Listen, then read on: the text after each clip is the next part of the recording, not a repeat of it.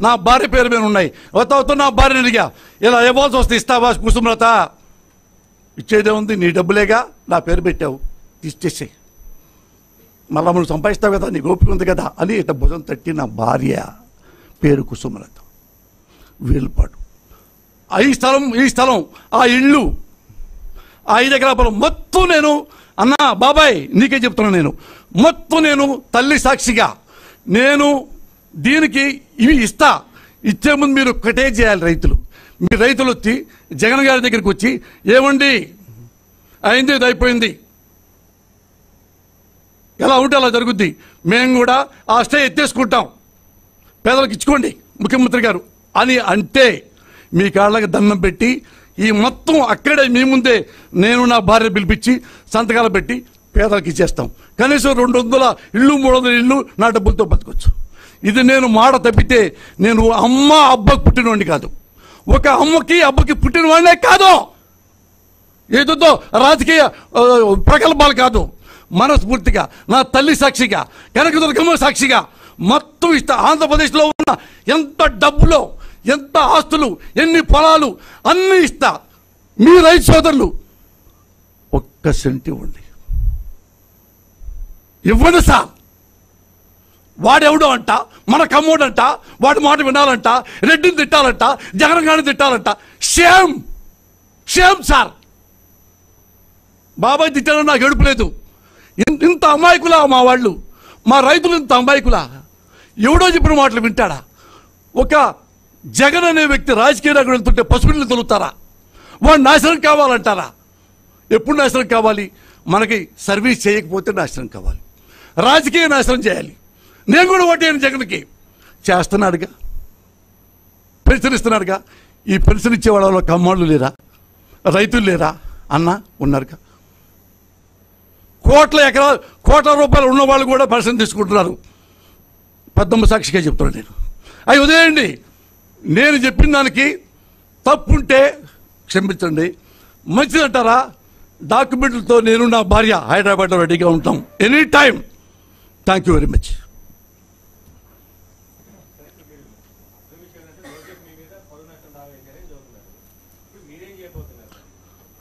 మీకు చెప్పలేదు అది? చెప్పాక అది పరువు నష్టం గురించి కాదు అతను. నన్ను మంగళగిరి తీసుకెళ్ళాలి. వాయిదాలు తిప్పాలి. లోపలికి వెళ్ళే టైంలో బయటకు వచ్చే టైంలో ఈయన్ని మర్డర్ చేయాలి. వీడు మన ఇదిగో ఇలాంటి ఫోటోలు ఇలాంటి ఫోటోలు చూపించాడు కాబట్టి రాను రాను భవిష్యత్తు పాడైపోతున్న రాజకీయ భవిష్యత్తు. వీడిని లేపేయాలి అనేది నాకు వచ్చిన వార్త. నేను చచ్చిపోయానంటే ఈ చావు కారణం నారా లోకేష్ బాబు. అంటే చాలా ఉండారేమో చంద్రబాబు కొడుకు భువనేశ్వరి కొడుకు బ్రాహ్మణి భర్త. ఇతనే నా చావు కారణం అవుతాడు. బట్ ఒకటి గుర్తుపెట్టుకో లోకేష్ నీ ఇంట్రెస్ట్ నాకు తెలిసింది. నేను అలా లంగాగాండి కాదు. నువ్వు పిలిస్తే వచ్చి అయ్యో బాబు గారు పిలిచారు. నీకంటే క్రెడిబిలిటీ ఉన్నవాడిని నేను. ఆయన పోసాల కృష్ణమురళి. అమ్ముడు పోయే నా కొడుకును కాదు.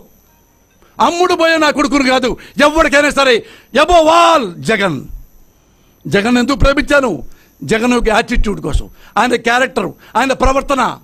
అవన్నీ నచ్చి నేను ఎప్పుడైనా సరే ఎవడు ఉన్నాళ్ళలో బెటరు వాళ్ళకే నేను సపోర్ట్ చేస్తాను ప్రజలంతా అదే చేస్తున్నారు కదా. నేను అమ్మకి చెప్పట్లా.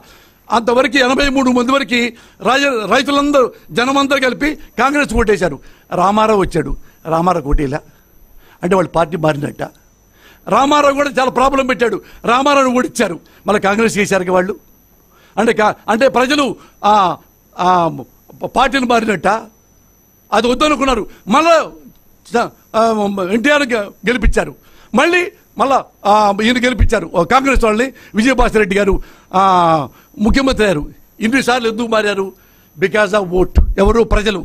వీడు బాగుంటే వాడు కోటేద్దాం బాగోపోతే ఇంకోటి వేద్దాం. నా సిద్ధాంతం అదే. ఇది తప్ప నేను ఎలాంటి చండాల పనులు చేయను చేయను చేయను. ఆఖరిగా ఒక రిక్వెస్ట్ రైతు సోదరులారా నిజంగా నేను అన్ని ఈ ఆంధ్రప్రదేశ్లో ఆస్తులన్నీ ఇస్తా. ఒక్క సెంటు.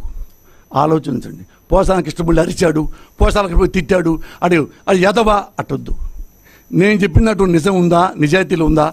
పేదవాళ్ళు తింటే వాళ్ళు they cry they cried like anything. Right now they are crying in front of land. వాళ్ళకి ఒక్క సెంట్ ఇవ్వండి. మీకు మీ జీవితాంతం మీకు రుణపడి ఉంటారు. జీవితాంతం రుణపడి ఉంటారు సార్. ఎవడు మాట వినకండి సార్. ఏంటన్నా అడిగారు?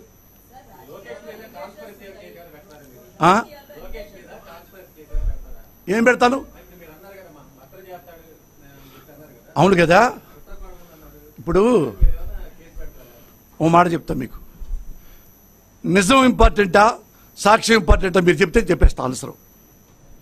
నిజం ముఖ్యం కావాలా మనిషికి? సాక్ష్యం ముఖ్యం కావాలా? నిజం ముఖ్యం కావాలి. నిజానికి సాక్ష్యం ఎమ్మటే రాదు. వస్తుంది. నేను కేసు పెట్టబోతున్నా. కేసు పెట్టబోతున్నా. ఏది? ఏమండి ఇట్లా? చాలా ఉండే నా చాలా మంది చూడండి.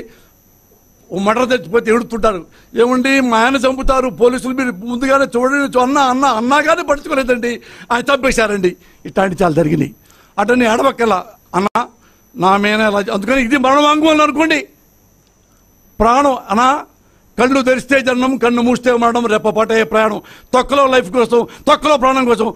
ఐ వోంట్ కేర్ ప్రమాణ ప్రమాణ సాక్షిగా నేను ఎప్పుడు చావతానికి భయపడ్డాను వాడు చంపుతాడు వీడు కొడతాడు ఆడు పొడుతాడు అన్నాం నా గురించి మీకు తెలుసు ముప్పై ఏళ్ళ నుంచి. ఆడికేం భయం లేదు. ఉన్నది చెప్పా నాకు తెలిసింది చెప్పా. డైరెక్ట్ పోలీస్ స్టేషన్ చెప్తాను. సార్ ఇది నాకు ఇలా జరిగింది? నాకు ఆల్రెడీ మీరు ఇచ్చారు. ఇద్దరు గన్మెన్స్ నాకు ఇచ్చారు. సరిపోతారు లేదో మీరు ఆలోచించుకోండి. ఒకసారి పది మంది అంటే పోలీసులనే తప్పే తాగుబాటు చేశారండి. నేనంత తాపుతాను బచ్చాగాడిని. ఎంత ఉంటా తిప్పి కొడితే డెబ్బై ఎనభై కేజీలు ఇవ్వన్నా నేను. ఎవరిని పట్టుకోగలను? నలుగురు నాలుగు పోట్లయితే అవుట్ ఇలాంటివి వాళ్ళ నేచర్లో ఉన్నాయి. చూశారుగా ఎట్ట ఎట్ట- ఎట్ట తిట్టాడు? వాడు నా కొడుకుల్ని. అది దంగ. ఏనా? వాడు రాజకీయ నాయకుడా? వాడు రాజకీయ నాయకుడా? అన్న అంతకుముందు ఏమనుకునే వాళ్ళం మనం?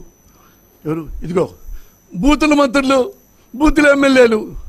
అన్న నేనేమంటానంటే సొసైటీలో బూతుల వలన సొసైటీ నాశనం కాదన్నా. బూతు పనుల వల్ల సొసైటీ నాశనం అవుద్ది.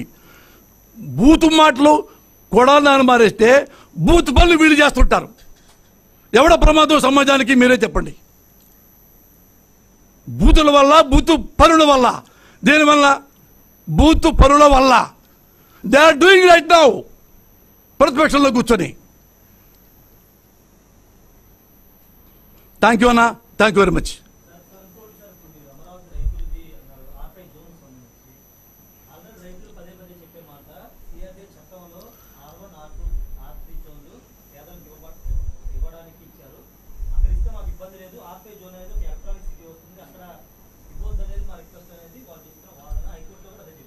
అన్నా అన్నా కొంచెం ముందురా కొంచెం. అన్నా కాదు. ఎక్కడ ఏ వచ్చుద్దో గవర్నమెంట్ చెప్పకూడదన్నా. మనమే కూర్చొని మనం ఆన్సర్ చెప్పుకుంటామా? ఏ చందా ఏ జగన్మోహన్ రెడ్డి నువ్వు తెలసొక్కాయి మాకు నలసొక్కాయి రేపు